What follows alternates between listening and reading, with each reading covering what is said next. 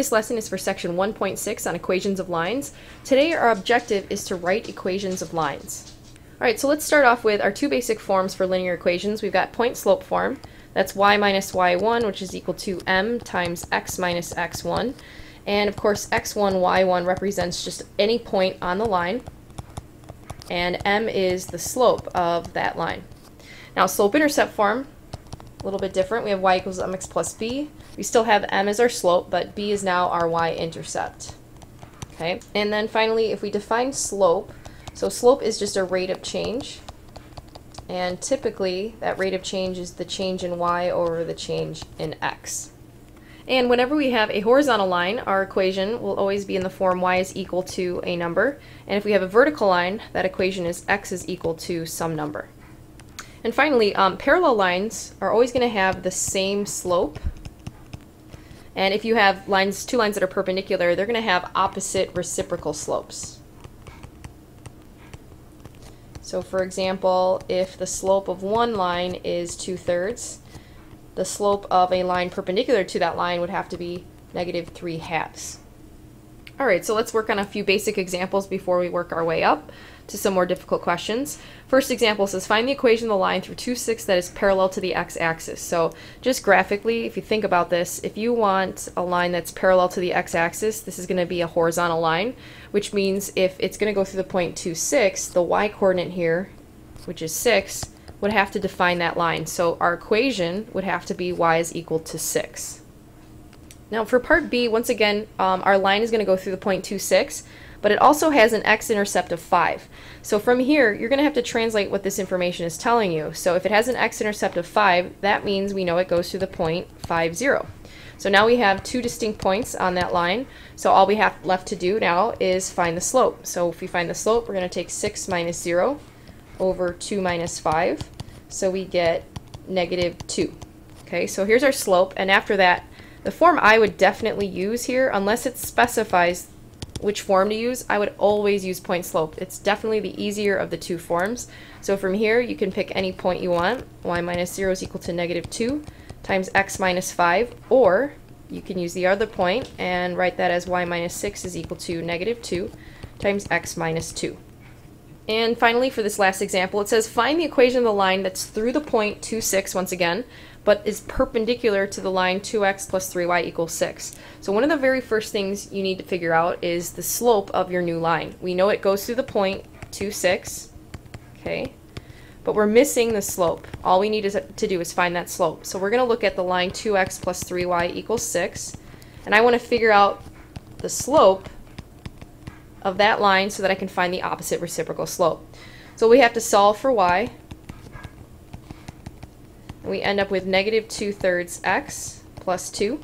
So now we're going to steal this slope here, take the opposite reciprocal, okay, which is 3 halves, and that'll be our new slope over here. So we have a new slope of 3 halves.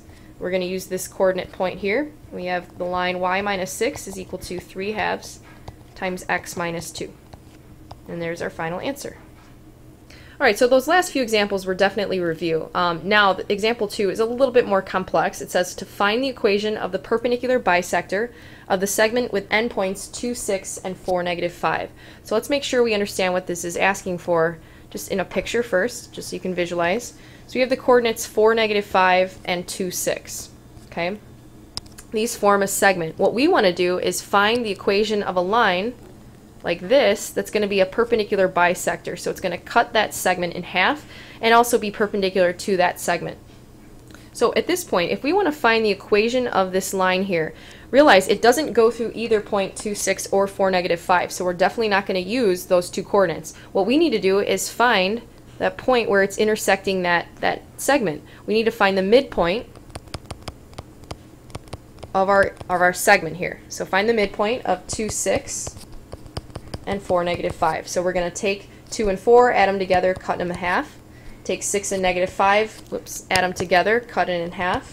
So we end up with the coordinate 3, 1 half. Okay, so there's our midpoint. All right, now we're halfway there. All that's left to find is the slope of that line. Okay, so let's find the slope. Well, to find that slope, we know that it's going to be perpendicular to this segment, so that means we have to find the slope of the segment that connects the points 2, 6, and 4, negative 5. So we're going to find the slope between these two points. So let's take 6 minus negative 5 over 2 minus 4. We end up with 11 over negative 2. So if this is the slope of this red segment here, then the blue segment, um, that's going to be the opposite reciprocal. Our new slope is positive 2 elevenths, which means that if we want to write the equation of this perpendicular bisector, that would be y minus 1 half is equal to 2 elevenths times x minus 3. So we're just going to use this slope and this point in order to write this equation. Alright, now before we move on, please make sure that you're very comfortable doing problems like this. Let's say, for example, if I were to put this on a homework quiz tomorrow, hint hint, you would know exactly what to do, okay? Let's move on now to example 3. It says, if a line goes through 6, 2 and has a slope of negative 3, find the area of the triangle bounded by the line and the coordinate axes. So I like to just draw a little picture here, a sketch, just to kind of give me an idea of what this problem is asking.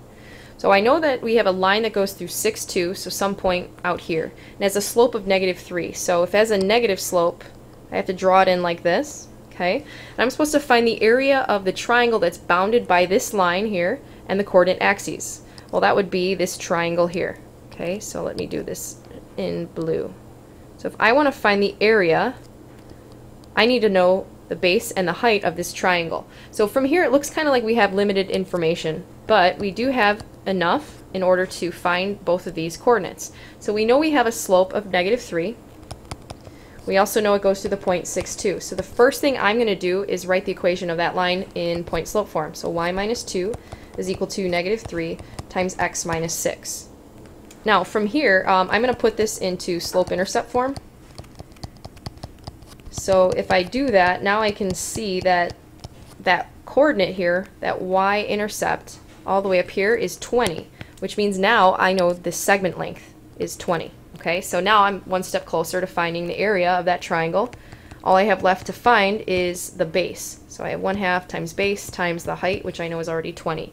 Now to find that um, x-coordinate here, really what I'm looking for is the x-intercept of that line. So now to find the x-intercept, I'm going to take this equation here, and I'm just going to plug in y is equal to 0. So if y is equal to 0, I'm solving this equation. Negative 3x plus 20 is equal to 0, and I end up with um, x is equal to 20 thirds. Okay. All right, so now that I have that coordinate here is 20 thirds, 0. Now I know the length of that segment is 20 thirds. Whoops should get rid of that b, sorry about that. So if I multiply this out, I have, um, let's just simplify actually, so that goes into there 10 times. So we have 200 thirds. So the area of that triangle is 200 thirds, uh, 200 thirds of a square unit square. Wait, did I just say square unit squared? I did. Sorry. Area is 200 thirds. All right, our last example here is a model problem. It says Prospect sells 25 sweatshirts when the price of each is $38. For each $2 increase in price, the number sold will decrease by 7. Write an equation that models this situation for the price P and the number sold N. Alright, so one of the first things I would suggest that you do is to define your variables and write your ordered pairs. Okay, so let's define our variables. Well, in this case, it sounds to me like price is the independent variable, and that's because the price is dictating how many sweatshirts are sold. If you increase the price, then that means you're selling less sweatshirts, and if you decrease the price, then you're selling more sweatshirts. So I definitely think that price is going to be the independent variable. Now that's probably a lot different than what you did last year in 90s. I'm guessing most of the model problems that you had, the independent variable was um, usually a number of items sold, but in this case it's the opposite. So I'm going to define the independent variable as the price. And N is the number of sweatshirts sold.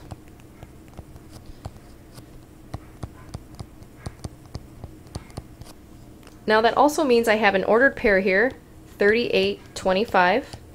Okay, so for a price of $38, you're going to sell 25 sweatshirts, all right? Now the next sentence here, which says for each $2 increase in price, the number sold will decrease by 7. Okay, this is actually telling you a rate of change. Remember, rate of change is a slope. So whenever they tell you how something increases or decreases based on something else, that's a rate of change. So for in this example, it says when you increase the price by $2, the number sold will decrease by 7. So let's talk about what our slope should be. Well, slope is just change in y over change in x. Now in our case, we defined our y, our dependent variable to be n. So that's the change in n over the change in p. So let's just substitute in here the change in the number of sweatshirts sold. It says it'll decrease by 7, so that's going to be negative 7. For the change in the price here, that's a $2 increase, so that's positive 2 here. That gives us our slope. So our slope here is negative 7 halves. So we now have a point here, and we have this slope here. And we can write this in point slope form. So y minus, oops, sorry, it's not going to be y. We're going to use our dependent variable, which is n. n minus 25 is equal to negative 7 halves times p minus 38. All right, now from here, um, I'm going to put this into slope-intercept form. I'm going to isolate that n. So let's go ahead and distribute. All right, so here we're going to have a positive. Uh, this goes in there 19 times. So 19 times 7 is going to give me 133. So we have 9 minus 25. Add that 25 to the other side. We end up with this linear equation. So uh, negative 7 halves p plus, uh, 158. All right, so in this form here, you can clearly plug in any price and see the number of sweatshirts sold. So this is the easiest form to use once you're dealing with a word problem because they're usually going to follow up with asking you some specific questions about the price and how it's affecting the number of sweatshirts sold. So I would definitely put it into slope-intercept form when you're dealing with a word problem. But for everything else, you can start and keep it in point-slope form. Okay. All right, and finally, I just want to mention one last thing. Uh, let's say instead you had used the ordered pair n comma p. That would be okay to use. Uh, you would just get a different slope here. Instead of using change in n over change in p, you would have to make sure you use change in price over the change in the number of sweatshirts sold. So this would result in a different function than this one here. It would look different, but it would still give you the same outcome if you were to plug in a specific price or a specific number of sweatshirts sold. So it's okay to do that. In fact, on my answer key, you'll see for your homework, I've done it both ways. So it's up to you how you want to define your variables. Um, but in this case, I just chose to use price as our independent variable, but it would have been okay to make it like that. All right, nice job. I will see you guys in class tomorrow.